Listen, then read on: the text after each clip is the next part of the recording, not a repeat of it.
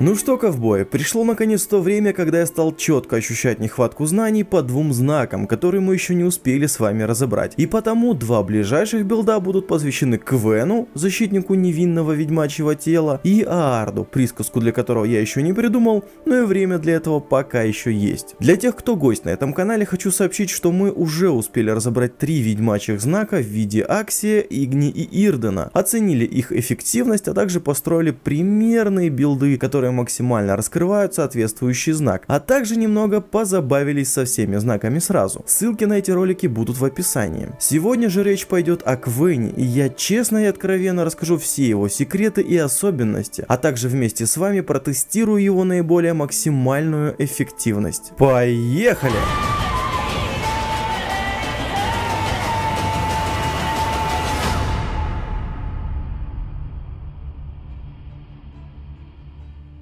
Привет, ковбой, с вами Войс Ребус и просто канал об играх. Перед тем, как начать небольшое уточнение. Наибольшая эффективность это некая условная черта, при которой знак становится очень эффективным. Например, Иг не должен поджигать, так как это лучшая его особенность. А всю оставшуюся прокачку мы вкладываем в поддерживающее развитие навыки, не максимизируя силу знаков просто так. Но в отличие от предыдущих знаков, где их силу не нужно было максимизировать, а лишь приподнять до необходимого уровня, чтобы они работали, Квен вроде вроде как не имеет таких ограничений, и чем больше у нас сила знака, тем сильнее наш Квен. Это сегодня мы и проверим. Для начала немного теории. Знак Квен это ведьмачий знак, простейшая магия, доступная ведьмакам, основан на элементе земли. Этот знак зачастую является спасением для ведьмаков, создавая магический заслон на себя или вокруг себя. При должном прокачивании начинает отражать поглощенный урон. Само описание знака подсказывает нам систему его работы. Знак Квен это это щит, который держится до тех пор, пока не поглотит определенный процент от максимального уровня здоровья. При условии, что у Геральта при повышении уровня, уровень здоровья практически не повышается, и где-то на 30 уровне оно достигает показателя в 6000 хп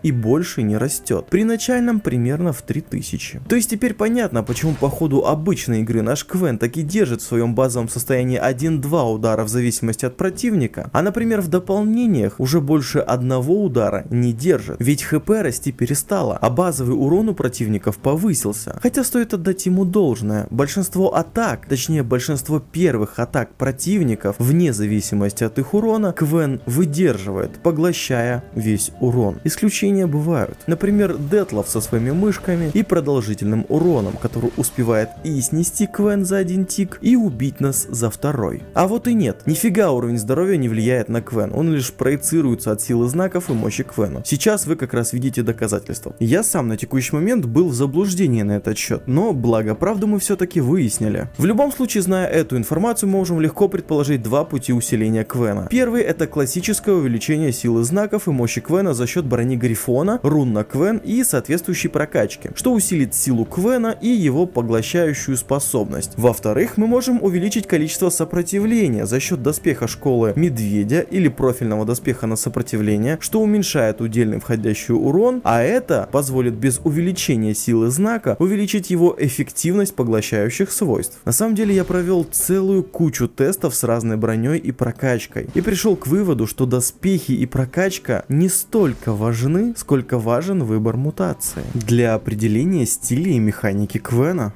Первым делом я попробовал магический билд с грифоном, верховенством магии и полной прокачкой на знаке. Но Квен не защищал меня. Он так же, как и без прокачки, держал один удар и все, после сдыхал. Это при полном билде, заточенном на силу Квена и силу знаков. Зато, благодаря верховенству магии, я научился обращать направленный против меня урон обратно противнику. Показатели достигали примерно 3000 единиц урона. На самом деле 4,5 или даже 5, но не забывайте про броню и сопротивления противника. Таким образом, фановый билд, направленный на reflect damage, который я когда-то старался построить через мутацию навыки, я построил тупо через Квен. Кто не видел этот билд, крайне советую его посмотреть, он забавный, и я еще там обещал вам обзор на Квен. Ссылка в описании. Но 3000 единиц урона это немного, особенно учитывая, что Квен слетает после одного, максимум двух ударов. Но убивать этим можно, хотя зачем? Мы ведь в full магическом билде, с мутацией на магическом магическую атаку. Два раза плюнуть Игни и противники и так будут мертвы. Зачем тут Квен, который не защищает?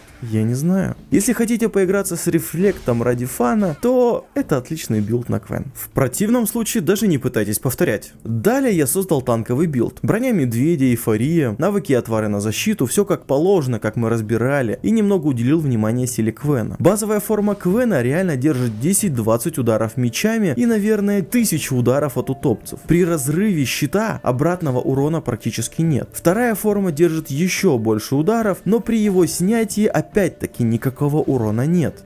Но вот вопрос. У меня сейчас билд на сопротивление. Я снимаю Квен и даю себя просто так бить противнику.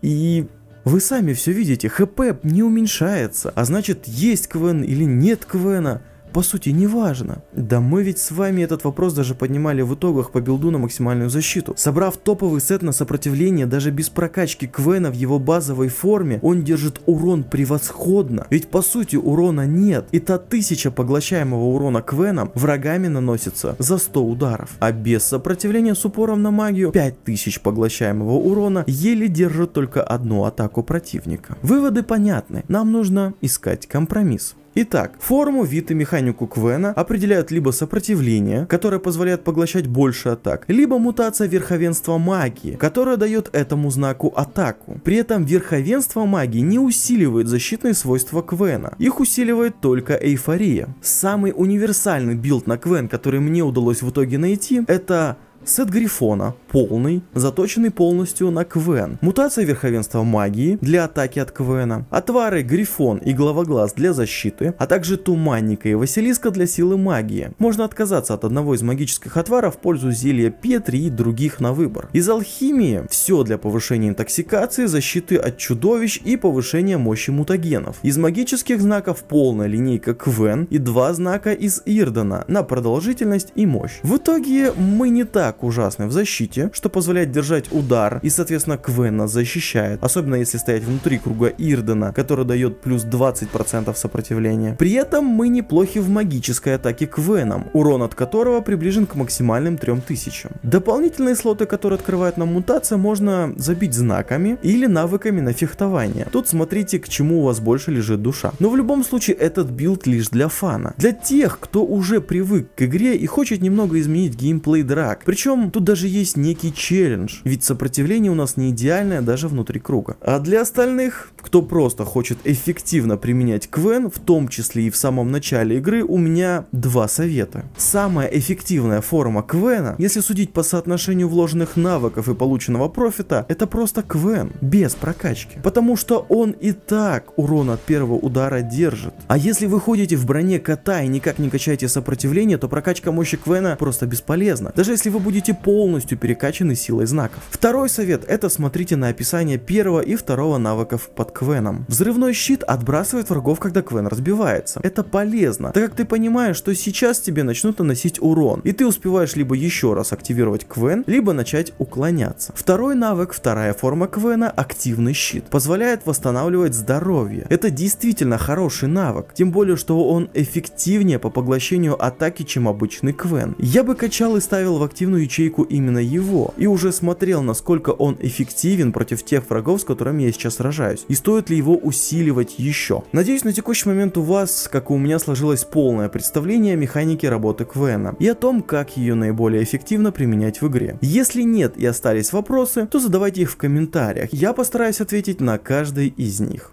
Кстати, у этого видео есть спонсор – Логово Нобилиума. Это YouTube канал, посвященный лорным видео по Ведьмаку, Гвинту и не только. Заглянув в это логово, вы узнаете много новых и интересных историй с хорошим монтажом и озвучкой. Кстати, на этом канале есть видео о школе Медведя, которое рассказывает кое-что новое даже для меня. Ссылка на канал есть в описании под видео. Ну а на этом все, ребята. Видео заслужило лайк, а я подписку на канал. А если вы уже подписались, то не забудьте включить уведомления о выходе новых видео видео, нажав на колокольчик, чтобы первым узнать о выходе нового видео. Следующий билд будет посвящен знаку Аард, как я и говорил ранее. И на этом со знаками мы наконец закончим и приступим к кое-чему новому, о чем вы меня давно просили. Всем спасибо за просмотр, увидимся в новом видео и на этом пока. Всем пока-пока.